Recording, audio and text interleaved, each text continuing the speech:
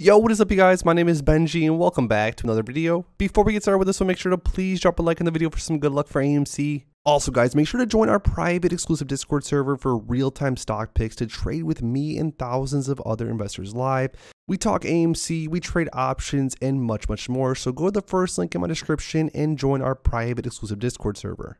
Something I want to talk about that we haven't talked about in a while is the fact that AMC and GME have been doing so well in the global market. Now remember, AMC stock is available across different stock exchanges across the world. Now, this is even with AMC theaters not necessarily being in any of these given countries. We see right here AMC closing as of last 2.97% in the green in the Frankfurt market. And we see GameStop up 7.92% up in the same Frankfurt markets. And it's not just Germans that are going all in on AMC. South Korean retail investors have recently traded more than $1.7 billion worth of shares in AMC Entertainment Holdings. One of the social media driven meme stocks this month, the data showed Friday.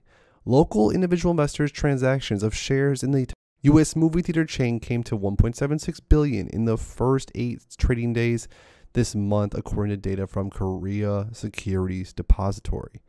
AMC Entertainment became the most bought overseas stock by South Korean retail investors during this period, far outpacing the runner up of Tesla Incorporated. South Korean individual investors traded $504 million worth of shares in the electric car giant. Local retail investors net buying AMC Entertainment stood stood at 47.72 million, the second largest among overseas shares. Trailing global house sharing platform Airbnb, along GameStop, AMC is a so-called meme stock that has seen the price jump not because of its performance, but rather because the hype across social media and the meme stock mania. South Korean retail investors are swooping up AMC as day traders of the US online community Reddit have sent the movie theater operator soaring as of recently, as well as GameStop, of course.